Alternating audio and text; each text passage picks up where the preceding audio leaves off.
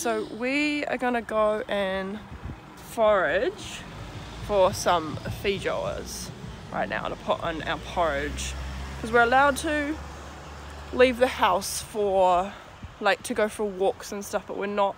Riley, stop, darling, stop, stop. We're not meant to go um, in our cars and really go anywhere. So that's fun with two kids. Oh, you just had your birthday, darling. My birthday. You've had you your birthday is a while away. It's nearly mommy's birthday.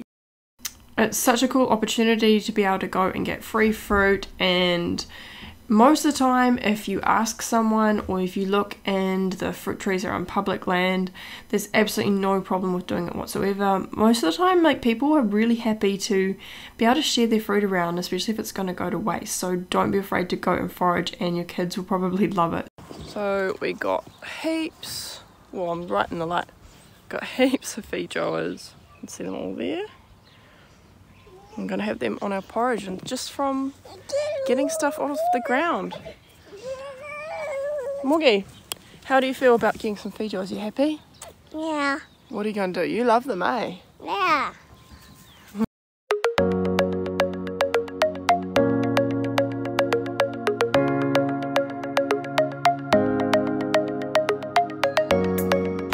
We got this big massive bowl of feijoas. Me. You eating your porridge? Yeah. Well done. You got blueberries? Is it yummy? Yum yum. This whole bunch of feijoas. It's gonna be real yummy.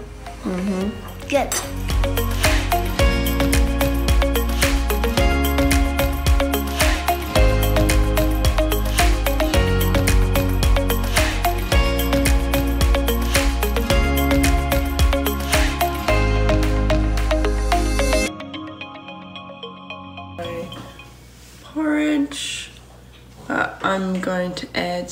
Feijoa to it.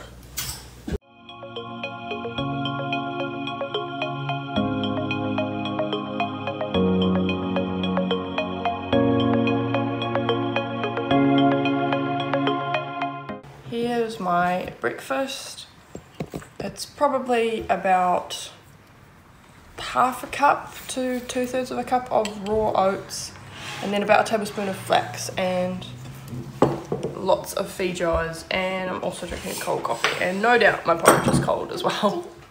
Now and I'm being very ambitious. I've got this big plate of lettuce and mesclun. So I'm gonna I'm gonna put some stuff on that and I'll show you what I've got to put on that. I've got some pumpkin, I've got some olives and I cut up some cucumber and spring onion and tomato.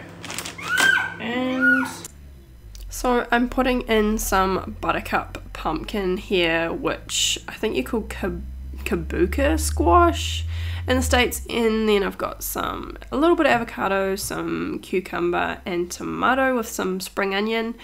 Lemon is amazing. You don't really need a, much of a dressing when you can put in some lemon juice. So I really like doing that. Uh, and I'm also going to add a little bit of salt and pepper. And I had this like pickled cabbage stuff left over from work that we had to take home after like my work closing for the quarantine. So I've got some of the juice of that in there, plus these pea feathers, which are really yum, and some a little bit of salt.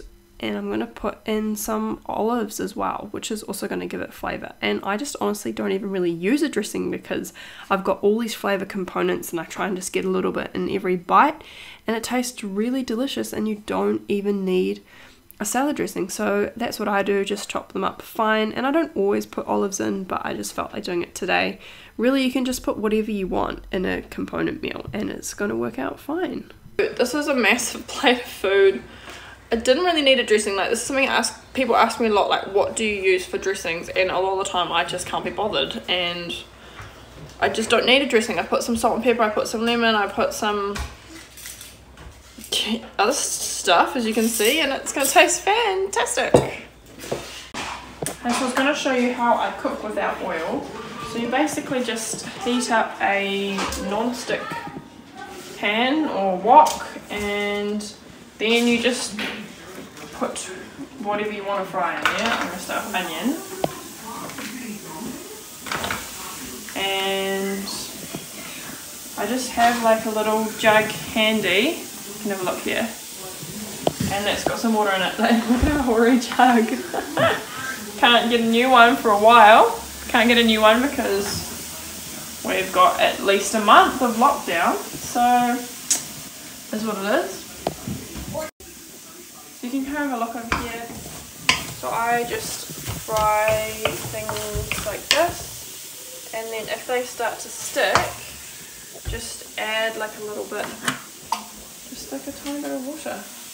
And you can just keep doing this and that's how you cook without oil. It's actually really, really easy and you're saving yourself like hundreds of calories.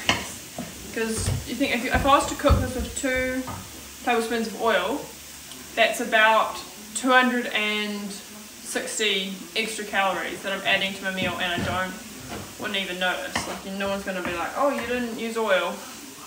No one is to notice. You're not to notice. Easy. And so I'm making some,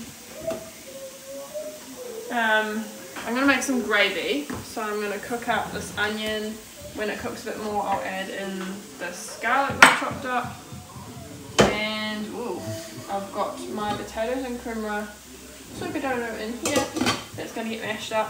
When that's cooked a bit more, I'm going to add some of this cauliflower in there because the cauliflower is going to, it's very, very low in calories, it's a non-starchy vegetable, so it's going to help to dilute the overall calories of the mashed potato, but no one's going to notice as well. So this is like these little kind of tips and tricks and hacks that I have to lower the calories of the food I'm eating, but still eat a high volume of food. Okay, so I'm going to try and make a bit of a gravy, and these are my thingies.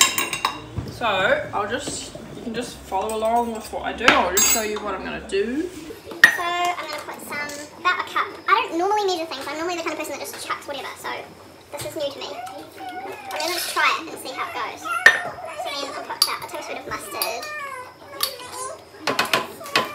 And, no, um, tablespoon of soy, milk, uh, soy sauce. About a tablespoon of this. It's just tomato sauce, like ketchup. And I've got this kind of like chicken stock stuff, so I'm going to put some of that in. No. So I'm just going to put that in. Um, and then, I'll show you what I'm going to do. Over here. So this is where my veggies are boiling away. This is for my mashed potato. So what I'm going to do is just, I'm just going to get some of these vegetables and use them to thicken up this gravy. So, a cup two cups. And this is what's going to help thicken up this gravy.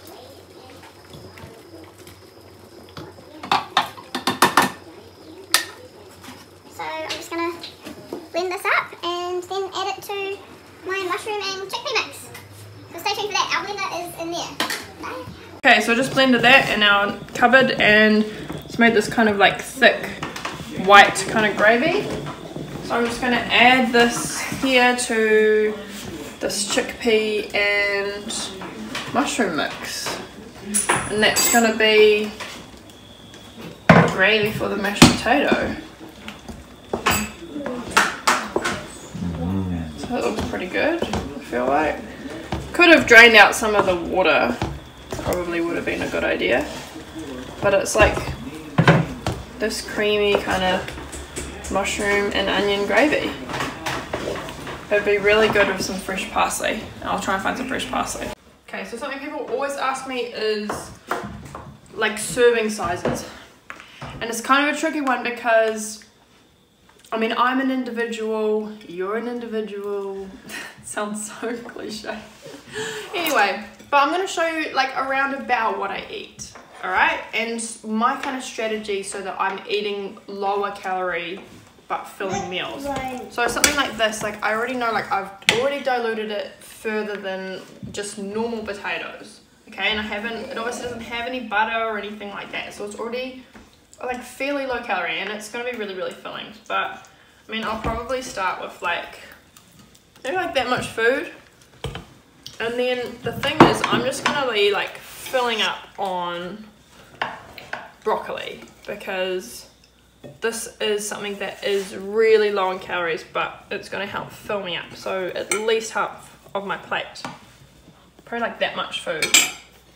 And then I'm to get some of this mushroom gravy that I made and remember like this is mainly non-starchy vegetables Mom, as well like this is made with mushrooms Mom, it's got a little bit of chickpeas Mom, in there You can have a lot more than us. yeah because I'm bigger Yes, and you were the one who made it. Oh, thank you, thank you, darling. So that's that's the thing, eh? You can have more if you're the one that made it. But so this is yeah, it's already got onions, it's got tons of mushrooms, so and then it's blended with basically this. It's not it's not like real creamy. It's not made with cashews, so it's already something that is relatively low in calories. So I'm just going to get like quite a lot, get tons of mushroom in there. and some gravy over that. Mm. Yeah, and I mean that's probably the kind of amount of food that I'm gonna start with. But just bear in mind, like I'm using calorie density. I'm eating a lot of non-starchy vegetables in this really filling plate of food, and that's how I've lost weight. That's kind of the secret to it. It's it's just being able to do this. So yeah, I'm gonna go enjoy this. So I've got my chai tea, which has a little bit of soy milk in it. And I'm also going to eat my muffin and I'm to sit on the couch and read a book. And then that's everything that I ate today, I'm pretty sure. So yeah, I hope you enjoyed this.